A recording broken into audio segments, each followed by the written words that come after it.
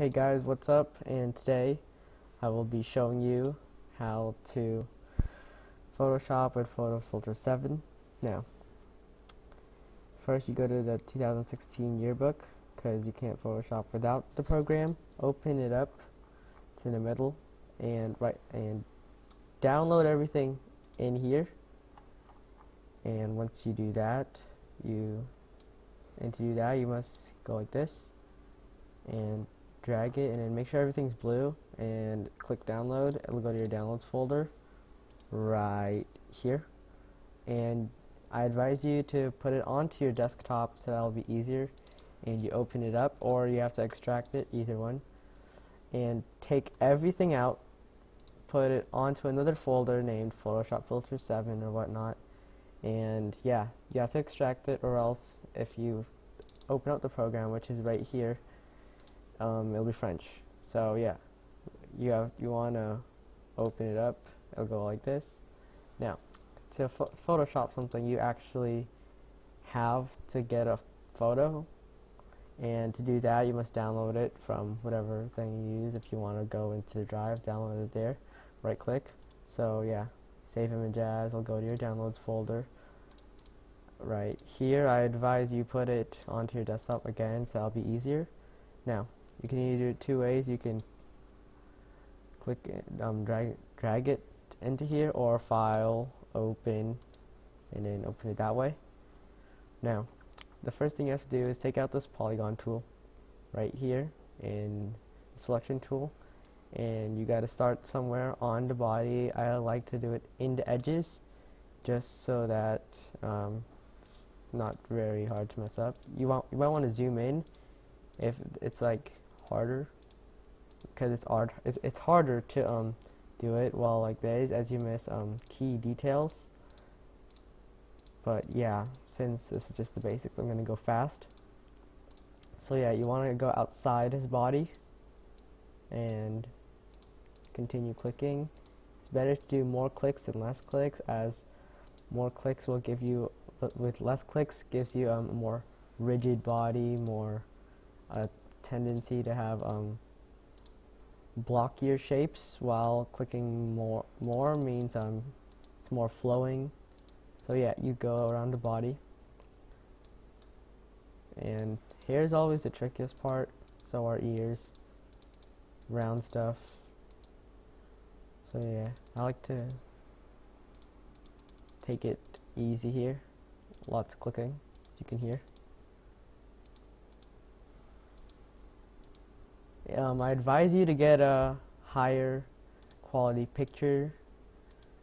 Um, it's gonna be very easy with the new with the new Canons that we have because they take really nice photos.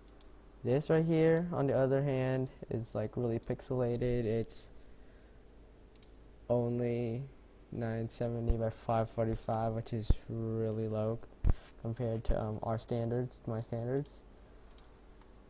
And uh, generally, they make it much harder to Photoshop as it's gonna be more pixelated.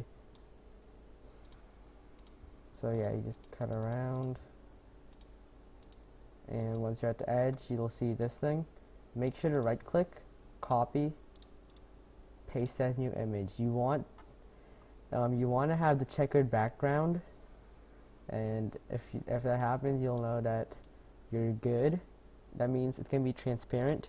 If you don't have a checkered background as say something like this, it's not going to be transparent and you can't see anything underneath it and yeah you want it to be transparent so that you can put stuff underneath it like what I did in the first page of the yearbook.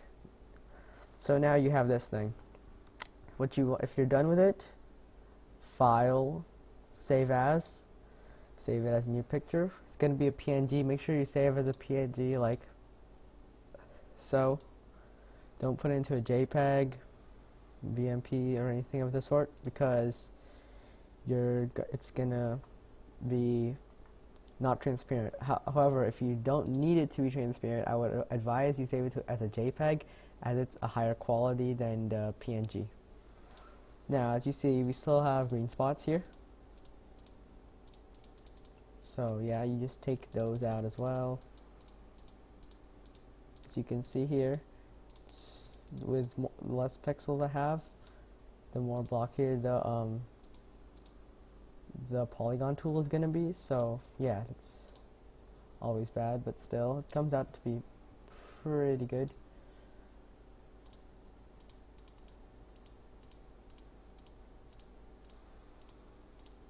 As I finish it up just clear this. And yeah here we go. We got this. If you want to add some text here's a text tool right here. Change the size.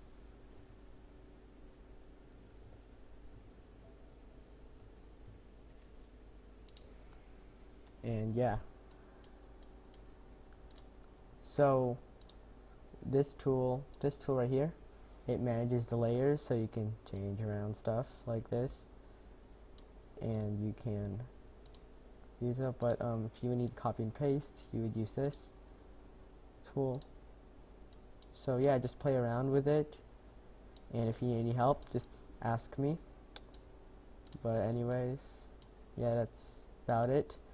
Also if you have a white backdrop like it's gonna be it's really easy to um not make it into a white backdrop. So here's the first thing you do the magic wand tool. It'll select anything of the same color something like this. Now you select the white color invert your selection so, so that it can copy that copy paste it and yeah you can also use it like this clear hide clear and yeah it makes your job really simple if it has like a green backdrop or a white backdrop or the sky and whatnot but I don't recommend you use it because sometimes it like it's like really weird as if you if you do something like this. Yeah. So I don't recommend you do it as it's sometimes weird and buggy. So yeah this is just a basic video thanks for watching guys